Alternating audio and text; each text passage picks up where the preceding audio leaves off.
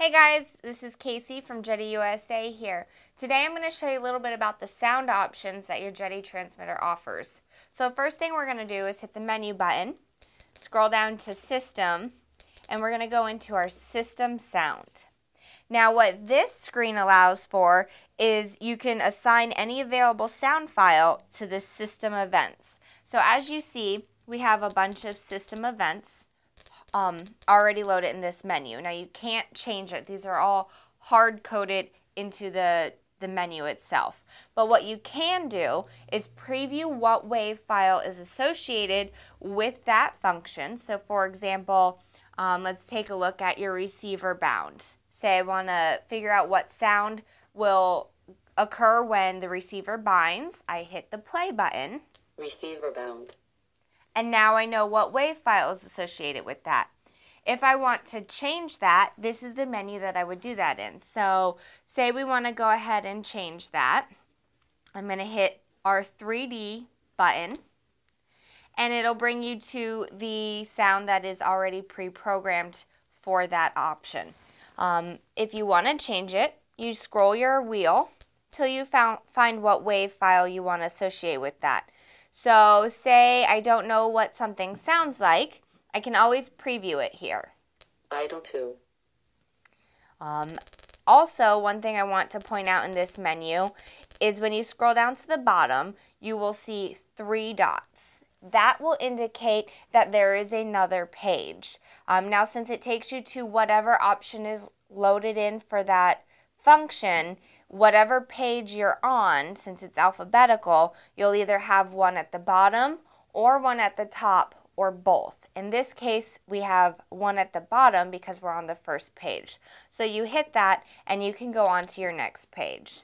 So we'll just go ahead and assign this wave file. Warning, temperature max spec high and that'll be what you hear now when your receiver is bound. Um, say we can change the startup as well. You can also set it to where you don't have any. So we're going to go back all the way to the first page and you'll see the option for none.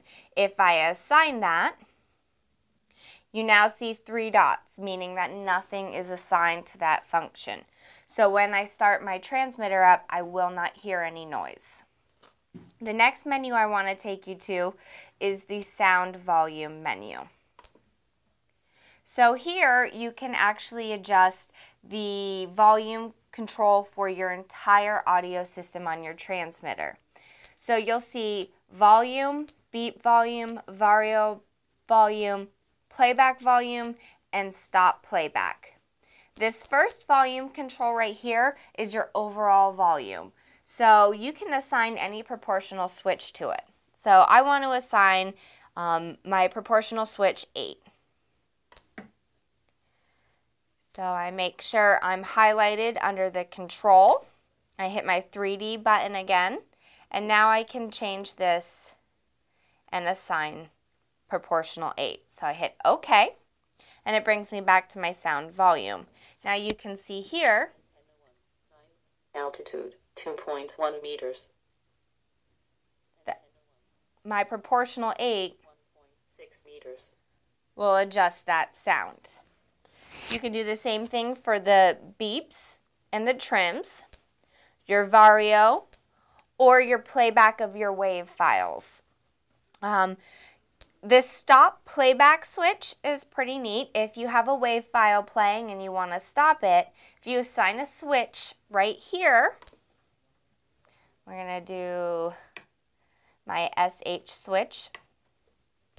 I can now instantaneously stop my WAV file from playing. So, for example, we hit this switch, bells play, and then I can stop it before it continues on.